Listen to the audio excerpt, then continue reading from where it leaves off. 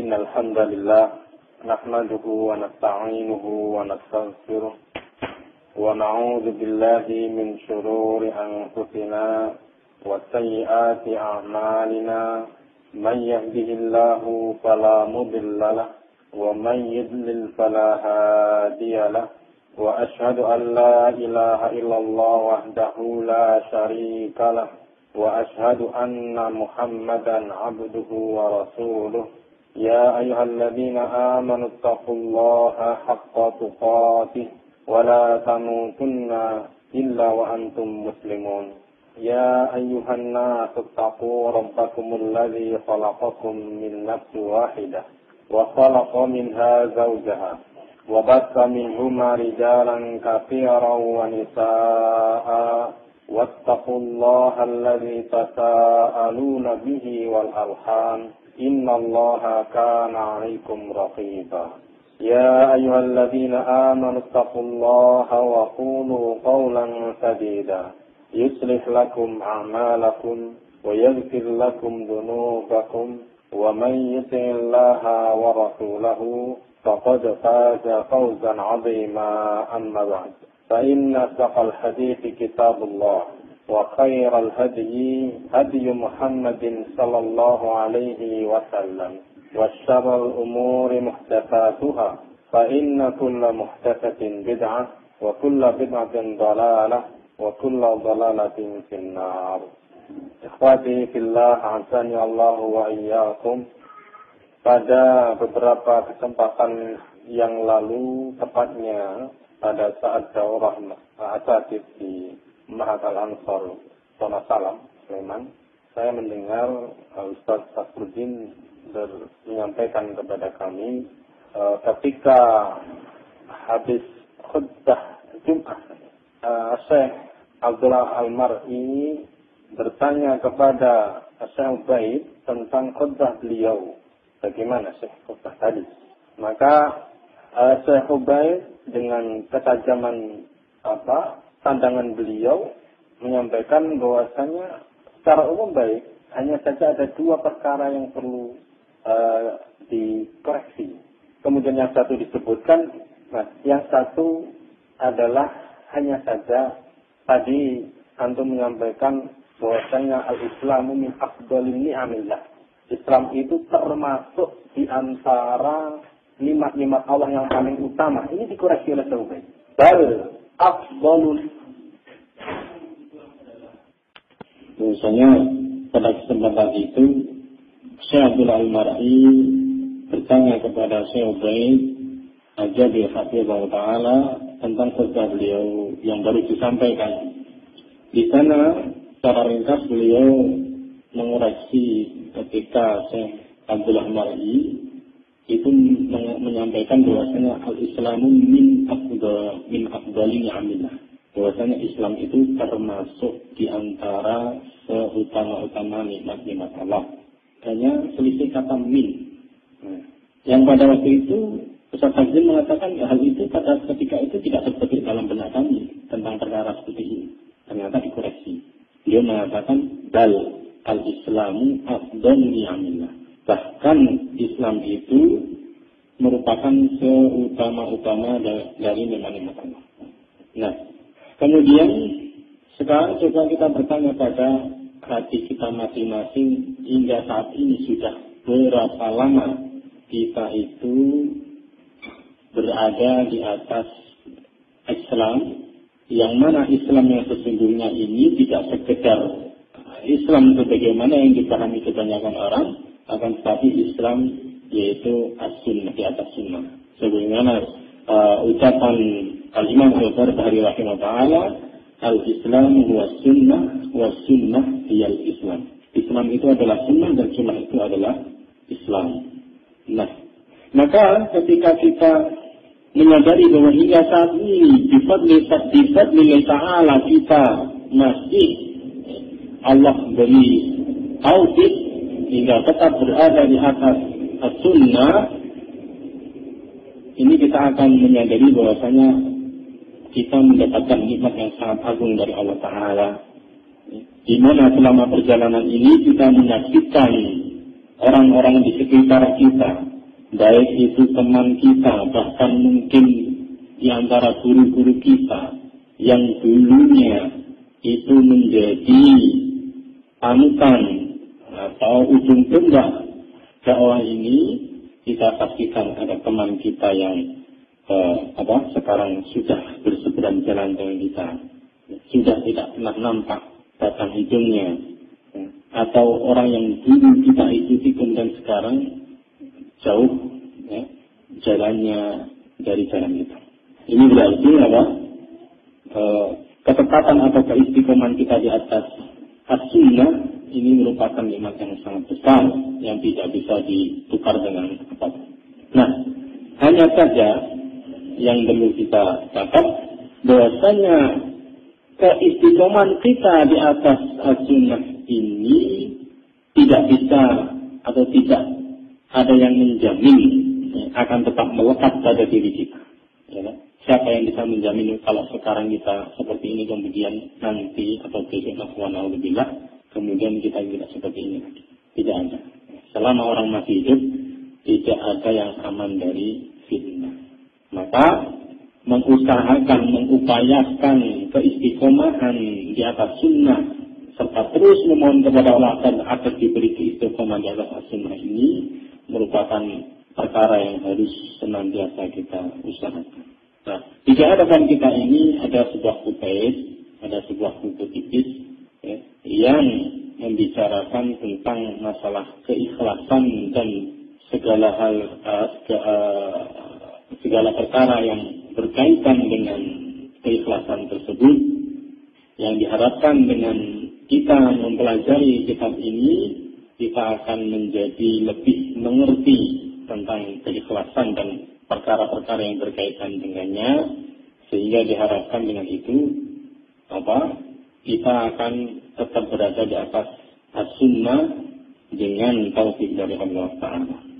Buku ini ditulis oleh uh, Dr. Sa'id Ibn Al-Qahtani yang uh, populer dengan karya beliau Hisnul Muslim. Yang kita bikin tentang hadis sahih dan uh, tentang pikir uh, yang disebut dengan Hisnul Muslim yang diterjemahkan dengan perisai seorang Muslim.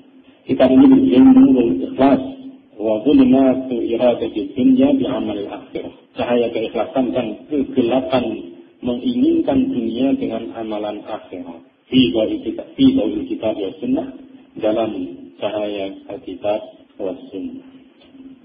Kita mulai membaca lembar pertama dari kitab ini Bismillahirrahmanirrahim. Qala al-muallif rahimahullah taala innal hamdalillah نحمده ونستعينه ونستغفره ونعوذ بالله من شرور أنفسنا ومن سيئات أعمالنا. من يهده الله فلا مضل له ومن يضلل فلا هادي له. وأشهد أن لا إله إلا الله وحده لا شريك له. وأشهد أن محمدا عبده ورسوله صلى الله عليه وعلى آله وأصحابه ومن تبعهم بإحسان إلى يوم الدين. وسلم تسليما كثيرا أما بعد فهذه رسالة مختصرة في نور الإخلاص وظلمات إرادة الدنيا بعمل الآخرة Ini merupakan risalah yang ringkas tentang uh, kitab Nurul Ikhlas ya, tentang nur cahaya keikhlasan dan kegelapan menginginkan dunia dengan sarana amalan akhirat. Bayantu fiha mafhum al-ikhlasi wa ahmiyatahu. Saya menjelaskan di jalannya tentang definisi ikhlas dan pentingnya keikhlasan. Wa makanatan niat salihati dan kedudukan niat yang benar. Wa zakartu qatara iradati dunya bil amal salih dan aku sebutkan bahayanya menginginkan dunia dengan amalan yang saleh wa anwa'al amali di dunia dan jenis-jenis amalan yang dilakukan untuk mencapai dunia. Wa khatar dan bahayanya ria wa dan jenis-jenis ria wa dan bagian-bagian ria wa asarah ala amal dan pengaruh ria terhadap suatu amalan. Wa asbabah wa dawafi'ah dan sebab-sebab riak serta faktor-faktor pendorongnya wa dan cara-cara metode-metode untuk mencapai keikhlasan. Wala syakka annal ikhlas sababun linnasr dan tidak diragukan lagi bahwasanya keikhlasan itu merupakan sebab ya mendapatkan pertolongan. Wan najati min dan juga sebab untuk selamat dari siksa Allah. Al waras manzilati fid dunya wal akhirah dan juga sebab terangkatnya kehidupan di dunia dan di akhirat wal fawzi bi hubbillah dan kemenangan suksesan dengan mendapatkan kecintaan Allah. Thumma hubbi ahli samawati wal ard lil mukhlis kemudian kecintaan penduduk langit dan bumi terhadap orang yang ikhlas. Wa hadza fil haqiqati nurun yaqlifuhu Allah fi qalbi man syaa min ibadihi dan ini pada hakikatnya merupakan cahaya yang Allah limparkan ke dalam hati orang yang Allah pendaki dari kalangan hambanya. Wa man lam yaj'alillahu lahu nuran fama lahu min nur. Dan barang siapa yang Allah tidak menjadikan baginya cahaya maka tidak ada baginya cahaya. Wa iradatu dunya bi'amal akhirah zulmatun mutarakimatun ba'duha fawqa. Dan menginginkan dunia dengan amalan akhirat itu merupakan kegelapan-kegelapan yang saling tindih menindih sebagian apa di atas bagian yang lain. Di anna dzalika yunafi kamalat tauhid sebab hal itu bisa menepis ya, menghilangkan kesempurnaan tauhid wa yuh wa yuhbitul amala alladhi qaranahu dan juga bisa menghapuskan amalan yang diiringi oleh apa? Olehnya, oleh amalan yang e, keinginan e, dunia dengan amalan akhirat tersebut. Kalau Allah kalau Allah Azza wa Jalla berfirman, "A'udzubillahi minasyaitonir rajim." Man kana yuridul hayata dunya zinataha nuwaffi ilaihim a'malahum fiha wahum fiha la yubkhasun. Dan ya, barang siapa yang menginginkan kehidupan dunia serta perhiasannya, maka akan kami berikan kepada mereka balasan amalan mereka di dalamnya dengan sempurna dan mereka itu tidak dirugikan sama sekali dalam hal tersebut. Ulaika alladziina laisa lahum fil akhirati illa an-nar wa habita ma sana'u fiha wadafilun makanu ya'malun. Mereka inilah orang-orang yang tiada bagi mereka itu bagian di akhirat kecuali neraka dan hapuslah apa yang mereka usahakan di dunia dan hasillah apa yang mereka lakukan. Waqad qasamtu hadzal bahth ila al-mabhatain tahta kulli mabhatin matalibun. Matalib alal alal nahil hadiyah ala alal nahil hadiyah dan saya telah membagi pembahasan ini kepada beberapa pokok bahasan dan pada uh, dan di bawah masing-masing pokok bahasan terdapat beberapa poin sebagai berikut. Lalu saya apa, menyebutkan apa, beberapa pokok-pokok bahasan dan poin-poin yang ada di bawahnya ini insya Allah akan kita lalui dalam pembahasan berikutnya. Wallah as'al bismil bismil a'zamil ladzi idza su'ila bihi aqa. Dan kepada Allah aku meminta dengan namanya yang agung yang mana jika dia itu diminta maka dia akan memberi. Wa idza bihi ajaba dan jika dia diseru dengan nama tersebut maka dia akan menjawab ayyaj'ala hadzal amal al-qalila mubarakan khalisan liwajhil karim agar menjadikan amalan yang sedikit ini diberkahi serta tulus hanya semata-mata mengharap wajahnya yang mulia muqarriban li muallifi ya. bisa mendekatkan untuk penulisnya wa ini dan pembacanya wa ini dan penerbitnya wa nasirihi dan penyebarnya. Minal firdausil a'la minal jannah yaitu mendekatkan kepada Al-Firdaus, yaitu surga yang tertinggi. wa yanfa'ani bihi fi hayati dan agar memberikan manfaat dengan apa amalan tersebut di dalam kehidupanku. Wa ba'da mati dan setelah matiku.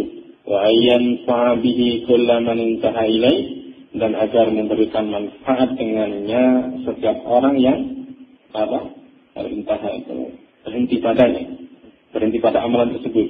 Fa innahu ta'ala khairu mas'ulin wa akramu ma'mulin. Sebab sesungguhnya Allah Ta'ala itu adalah sebaik-baik uh, pihak yang dimintai dan semulia-mulia tujuan cita-cita. Wa huwa hasbuna wa ni'mal wakil. Sedangkan dia adalah zat yang mencukupi kita dan sebaik-baik penolong. Wala haula wala quwata illa billahil azim. Dan tiada daya dan kekuatan kecuali kepada Allah yang maha tinggi lagi maha agung. Sallallahu wa sallama wa baraka ala nabiyina Muhammad wa ala alihi wa ashabihi wa man tabi'ahum bi ihsan ila yaumiddin. Ini apa? Mukadimah yang disampaikan oleh penulis. Kita masuk pada uh, pembahasan al-mabhasul awal pokok bahasan yang pertama nurul ikhlas. Cahaya keikhlasan. Al-matlabul awal poin yang pertama. Mafhumul ikhlas, definisi atau pengertian ikhlas. Al ikhlas fil lughah khalaqa yakhlusu khulusan. Yang bermakna sofa wa zala anhu yaitu jernih, bening, bersih dan hilang darinya kotorannya. Ini makna asal, makna syarat bahasa. Wa yuqal khalaqa min wartatihi eh, eh salima minha wa najah kalau dikatakan khalasa min warfatihi, ya, selamat ya, dari uh, atau bersih dari uh, kotorannya, ini maknanya dia selamat darinya atau dia selamat. Ada salimah hampir semana. Wa yuqal dan dikatakan pula khallasahu tahrifan ay najahu. Kalau khallasa mengikuti wazan fa'ala bermakna najah. Kalau khallasahu berarti najahu yaitu menyelamatkannya wal ikhlasu fit Sedangkan keikhlasan dalam hal ketaatan itu adalah meninggalkan riya. Silakan lihat Al-Mujam Al-Wasi halaman eh, jilid 1 halaman 249 dan Mukhtar Sahah halaman 77. Wa haqiqatul ikhlas dan hakikat keikhlasan itu adalah wa ayridal abdu bi'amalihi at-taqarruba ilallah ta'ala wahdah yaitu seorang hamba menginginkan meniatkan dengan amalan dia takorrub yaitu mendekatkan diri kepada Allah Ta'ala satu-satunya. Waqad zakara ahlul ilm tarifatin ba'duha qaribun min ba'd. Dan ada ilmu yaitu para ulama ini menyebutkan beberapa definisi atau pengertian pengertian yang sebagian apa satu dengan sebagian yang lain itu saling mendekati maknanya saling mendekati Fakilah ada yang mengatakan al-ikhlasu ifradul haqqi subhanahu bil qasdi bil ta'ah.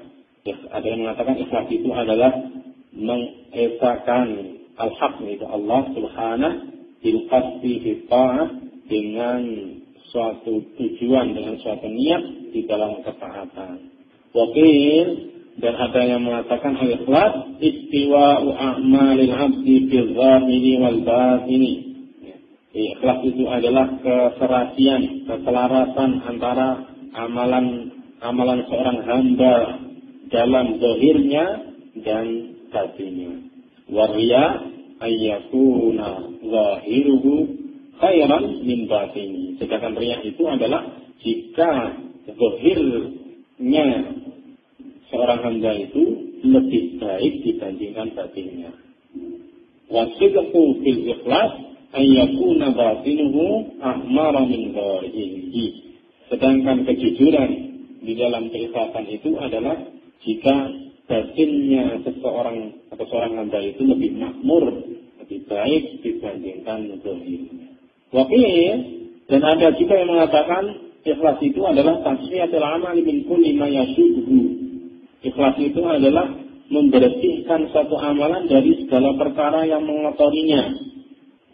Jadi ternyata tidak sesederhana ikhlas yang dipahami oleh kebanyakan orang. Seperti misalnya orang mengatakan ketika memberi, saya ikhlas kok. Yang bermakna rela dengan hati yang lega. Nah, hanya saja, misalnya kita memberi dengan hati yang rela itulah niat kita memberi itu untuk apa, untuk siapa? Nah, ini permasalahan. Wa alama taqaddama yaqadahu anal ikhlasa sarful amali wa taqarrubu bihi ilallahi wahda. Berdasarkan keterangan yang telah lalu menjadi jelaslah bahwasanya keikhlasan itu adalah mengarahkan suatu amalan dan bertakarub dengan amalan tersebut kepada Allah saja. La tanpa ada riya, wala sum'atan tanpa ada sum'ah. Perlu kita murajaah kembali apa itu riya, apa itu sum'ah. Secara ringkas namun Arya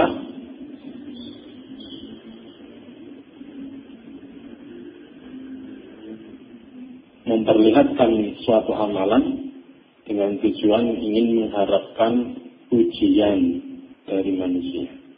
Sum'ah menceritakan suatu amalan dengan tujuan mendapatkan pujian dari manusia. Dan banyak sekali apa macam-macamnya. Insya Allah akan sampai pada pembahasan. Wala talaban lil harami za'i dan juga tanpa ada tendensi untuk menggapai suatu tujuan yang fana. Wala tasannu'an dan juga tanpa ada amalan itu dibuat-buat atau berpura-pura Wa innama yarju sawaballahi. Hanya saja, eh, tapi hanyalah apa? Dia atau seorang hamba itu mengharapkan pahala dari Allah. Wa yakhsha dan takut dari siksanya. Wa mau fi dan dia ambisi untuk mencapai keridhaan Allah. Ketika beramal, baik itu kecil maupun besar, tidak ada niat sama sekali di dalam hatinya itu untuk nanti dipuji orang ya, atau dengan amalan tersebut dia ingin memperoleh ya, tujuan-tujuan duniawi baik berupa harta, kedudukan, pamor, ketenaran dan seterusnya tanpa itu dan tidak dibuat-buat nampak sekali kalau misalnya orang itu beramal karena mengharapkan selamat Allah itu amalannya nampak dibuat-buat. Tidak tulus dari dalam hatinya. Walihada qala al-qadiyah, oleh karena ini al-qadiyah, dan perlu kita garis bawahi, al-qadiyah berbeda dengan hudal biniyat ya. Jangan salah nanti. Al-qadiyah itu bukan al-hudal biniyat.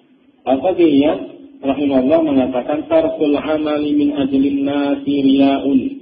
Meninggalkan suatu amalan gara-gara manusia atau karena manusia inilah ya. Wal amalu min ajlin nasi syirkun. Dan beramal karena manusia ini merupakan kesyirikan. Wal ikhlasu sedangkan keikhlasan itu adalah jika Allah itu menyelamatkanmu dari keduanya. Yaitu Allah menyelamatkan kita dari meninggalkan suatu amalan karena manusia. Dan Allah menyelamatkan kita dari mengamalkan satu amalan karena manusia. Wal ikhlasu fi hayatil muslim. Ay yaqsuda bi amalihi wa qawlihi wa sa'iri tasarrufatihi wa tawjihatihi wa ta'limihi wajah Allah Ta'ala wahdahu la syarikalah wa la rabba siwa. Al-ikhlas dalam kehidupan seorang muslim itu adalah bahwasanya dia itu meniatkan dengan amalannya, ucapannya, dan seluruh gerak-geriknya, pengarahan-pengarahannya, pengajaran-pengajarannya adalah wajah Allah Ta'ala satu-satunya yang tiada sekutu baginya dan tiada selainnya. Nah, sampai poin ini, nah, coba kita bahasa Jawanya itu ngelayai badan kita, introspeksi. Apakah amalan-amalan yang selama ini kita lakukan hingga detik ini itu benar-benar tulus karena Allah atau di sana ada tendensi-tendensi duniawi. Mungkin ingin dipuji, ya, mungkin ingin mendapatkan bagian dari dunia dengan amalan tersebut.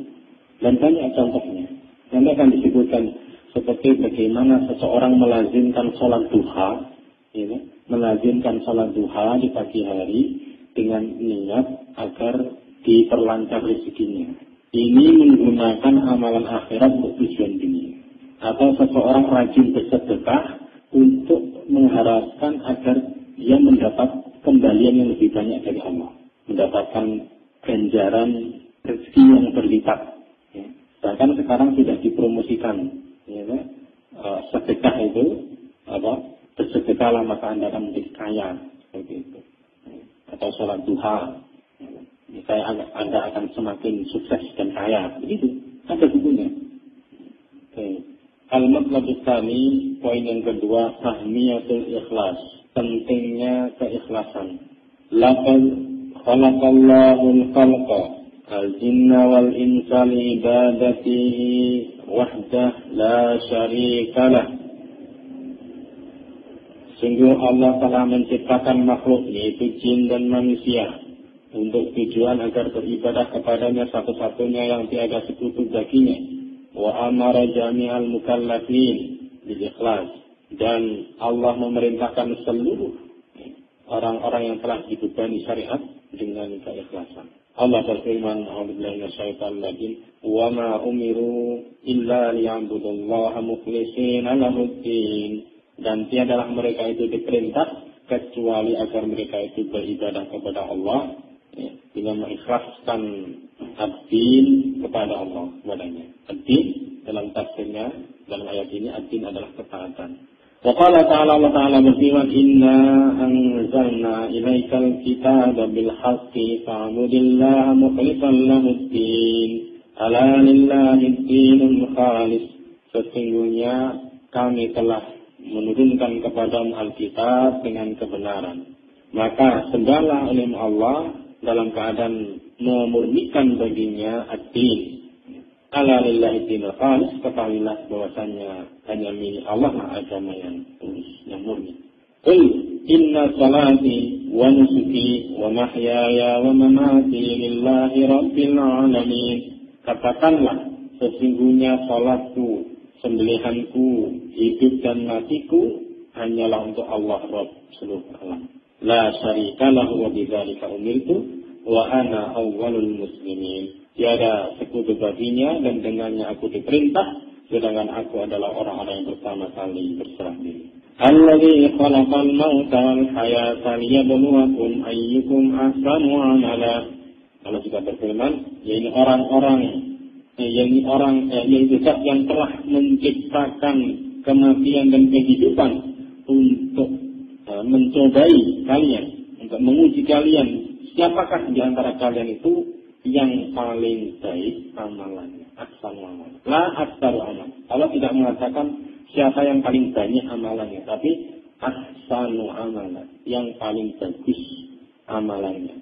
Nah, kalau al-Hudainiyah Iyad rahimahullah mengatakan, "Huwa akhlasuhu wa aswabuhu." Yang disebut dengan ahsanul amal, ahsanul amal, ahsanul amal, sebaik-baik amalan itu adalah akhlasuhu wa aswabuhu, yang paling tulus, yang paling murni, dan yang paling benar. Lalu, ya, orang-orang bertanya kepada beliau, Ya Abu ma akhlasuhu wa aswabuhu wa Ali? Yaitu kunyahnya Al-Hudail bin apa maksud dari akhlas waswabu itu? Fakala maka beliau menjawab, Innal amala idza kana khalisan wa lam yakun sawaban lam yuqbal. Sesungguhnya amalan itu jika dia itu benar, eh, tulus, tetapi tidak benar, maka tidak akan diterima. Wa idza kana sawaban wa lam yakun khalisan lam yuqbal.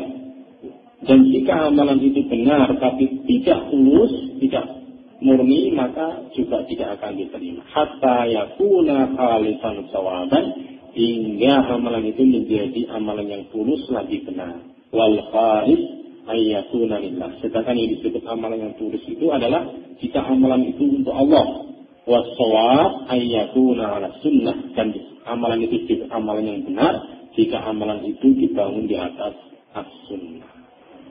Baik, nampaknya harus kita cukupi sampai sini. Insya Allah akan kita lanjutkan pada kesempatan berikutnya. Bismillah ta'ala. Jazakumullah khairan ala minkum. Subhanakallahumma wa bihamdika asyhadu an la ilaha illa anta astaghfiruka wa atubu ilaik.